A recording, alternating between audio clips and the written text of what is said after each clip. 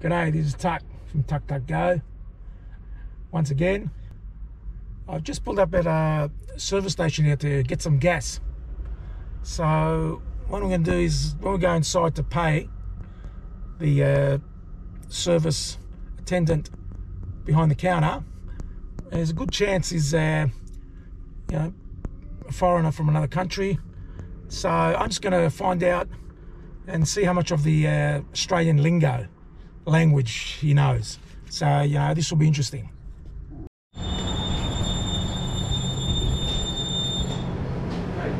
G'day, Knackers. How they hanging? How you been? Bowser, uh, Bowser number five. Yeah. Okay? Yeah. Tap and go. Yeah. Bit of paperwork with that, receipt. Tell me where's the can, I can take a dump. Sorry? The can, take a dump. Loo, toilet, toilet, toilet. Oh. Yeah. Oh. Down there? Good on you, mate. Open? Yeah. Excellent. Good night, Tiger.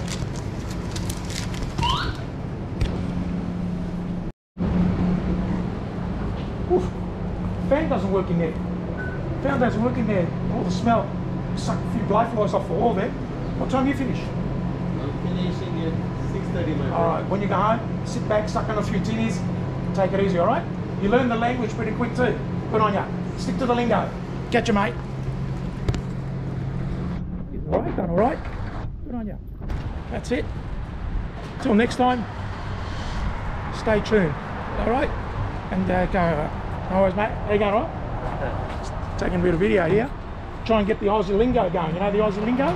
You know the Aussie, do you speak Aussie lingo? catch her, how you going, you know, you know what it's doing, how they're cooking, how they're hanging hackers, you know, all that.